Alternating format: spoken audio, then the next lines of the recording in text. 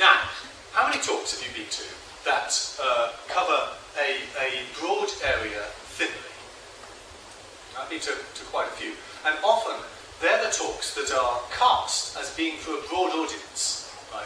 So giving a talk to a broad audience is actually quite difficult because um, uh, uh, because the audience you get is not going to know very much about your specific subject. So the tendency is to say very little about a lot. So that, that's this broad but shallow thing.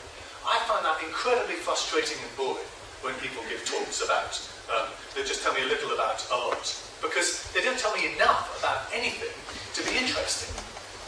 So um, my advice to you is even if you're giving a talk to a broad audience, and especially if you're giving a talk to a specialised audience, um, do a bit of this sort of um, broad stuff, like uh, this stuff at the top here, sort of broad but, uh, uh, but shallow, but then choose your area and dive into it.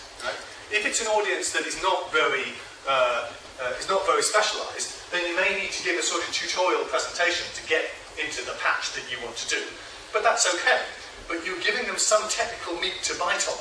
What you want to avoid at all, at all costs is just giving a survey of I don't know, 18 different network protocols, and all the um, all the audience gets is um, 18 different acronyms things that they still don't really understand. You want to say, there are lots of different protocols, and I'm going to tell you in some detail about one particular one, and here's how it works. Right.